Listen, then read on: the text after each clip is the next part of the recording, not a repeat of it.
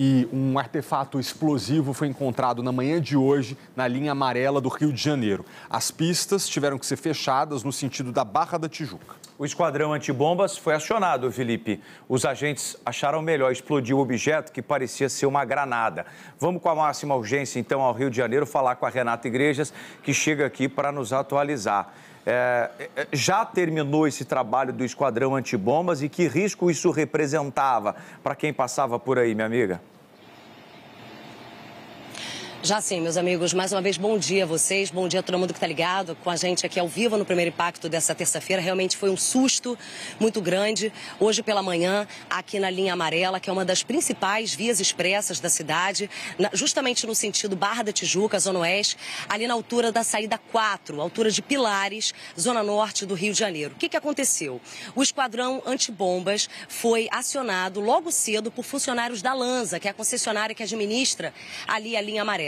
Funcionários da limpeza perceberam algo estranho ali no canteiro dessa pista, sentido Barra da Tijuca, e aí resolveram chamar, primeiramente, a Polícia Militar, que acabou acionando, então, a Polícia Civil, e aí o Esquadrão Antibombas foi até o local. Nós temos, inclusive, imagens do momento da detonação desse artefato, na, por volta, pouco antes das 8 horas da manhã. Nossa equipe, inclusive, eu e Tiago Ramos, estávamos a caminho ali para poder mostrar todo esse trabalho do Esquadrão Antibombas ali na linha amarela, mas o artefato então foi detonado. Obviamente, a nossa equipe, como muitos motoristas, ficamos presos no trânsito e por conta disso, então, os nossos colaboradores conseguiram de moto chegar antes. Eu estou aqui com o Fabrício Oliveira, ele é coordenador da CORE, a tropa de elite da Polícia Civil, e ele vai explicar para a gente, ele está inclusive segurando aqui um artefato idêntico ao que foi encontrado e detonado hoje cedo, então, pelo Esquadrão Antibombas. Só lembrando que a perícia foi feita pela CORE e agora a delegacia de Inhaúma, ali na zona norte do Rio de Janeiro, vai investigar investigar de onde saiu esse artefato. O que a gente pode dizer, né, Fabrício estava explicando agora há pouco pra gente, é que é um tipo de granada caseira, né? É um artefato ah, improvisado, como vocês chamam, mas o que a gente sabe, dizendo aqui no português, bem claro, Fabrício, é que ela já estava sem o pino e ela poderia ser detonada ao menor choque e também com esse calor extremo, né? Bom dia. Com certeza, bom dia. É, o que a equipe da Core localizou no local é, o esquadrão de bombas foi um artefato explosivo improvisado, semelhante a uma granada de mão, semelhante a esse objeto que eu estou aqui nas mãos. Isso aqui se trata de um objeto inerte, aqui não tem carga explosiva, é apenas para instrução e para demonstração, mas era muito semelhante a esse. Então, por se tratar de um artefato explosivo improvisado, ele gera um risco para a população, porque não existe um padrão de produção, de confecção, um padrão de segurança. E para piorar, quando a equipe chegou no local, percebeu que a, a, detonação dele já havia sido iniciada e por algum motivo ele não havia explodido. Então, é, de uma maneira assim muito é muito informal, pode-se dizer que já estava era uma granada semelhante a uma granada sem pino, né? Então já estava prestes a detonar.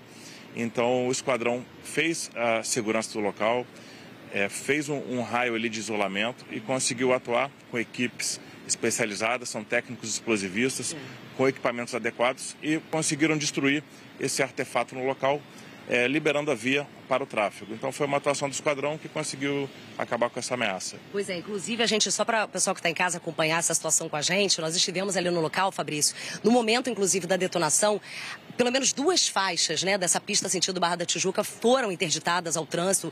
O trânsito, o congestionamento ficou, obviamente, quilométrico. A faixa reversível também, que funciona ali no sentido centro da cidade, foi cancelada nessa parte da manhã, entre 6 e 9 da manhã. Agora, você estava falando que o poder, o dano que isso causa, poderia ser de amputação, inclusive morte por algum motorista, motociclista passando no local, ou até mesmo o pessoal da Lanza que estava fazendo a limpeza, né? Então, os técnicos explosivistas do Esquadrão de Bombas aqui da Core já fizeram alguns estudos com artefatos improvisados semelhantes a esse e perceberam que existe sim um, um, um raio de risco muito grande, de 10 a 15 metros. Uma detonação como essa aqui pode provocar a morte, até mesmo a amputação ou lesões graves para pessoas. Então, É, a primeira medida quando se encontra um artefato como esse é isolar o local e chamar policiais especializados do Esquadrão de Bombas. Perfeito. Então, Fabrício Oliveira, coordenador da Core, obrigada demais pela participação aqui com a gente. Só lembrando, meninos, pessoal que está em casa acompanhando a gente, a Core passou agora há pouco para a gente números impressionantes. Só este ano, mais de 700 artefatos parecidos com esse daqui já foram encontrados e detonados pela Coordenadoria de Recursos Especiais da Polícia Civil aqui no Rio de Janeiro.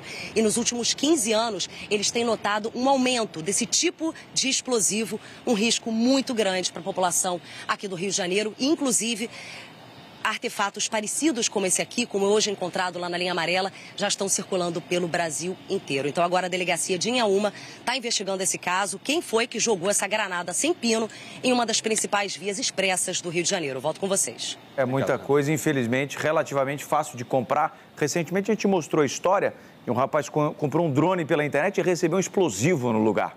Né? Ou seja, isso aí está à venda nos sites, falta fiscalização. E olha só o risco né, que isso representa para a população, ainda mais desavisados.